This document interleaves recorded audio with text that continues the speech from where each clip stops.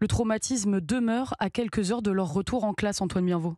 Oui, pour beaucoup d'élèves, remettre un pied dans les murs du collège-lycée Gambetta, théâtre de l'attaque barbare de vendredi, s'annonce compliqué et particulièrement pour Margot, encore sous le choc. J'ai vu toute la scène devant moi, mon prof est allé, euh, le tueur en face de moi en train de me regarder dans les yeux et j'ai vu mon prof en train de supplier pour pas se faire euh, tuer. Je suis retournée au collège pour reprendre mes affaires et bah, les larmes elles ont coulé toutes seules. Je sais que bah, je suis pas toute seule et il faut aussi que j'y mette du mien pour euh, y traverser ça donc il faut rester forte. Hein. L'adolescente veut se laisser du temps pour faire son retour en classe, tout le contraire de Simon qui attend avec impatience de franchir à nouveau les grilles de son lycée. Je préfère vite revoir que tout le monde soit capable de recontinuer euh, normalement, que les professeurs n'aient pas peur de revenir. Ils ont gagné si on arrête de vivre quoi. Moi le soir même je suis sorti tout de suite, euh, le soir d'après je suis sorti, enfin je sors quoi.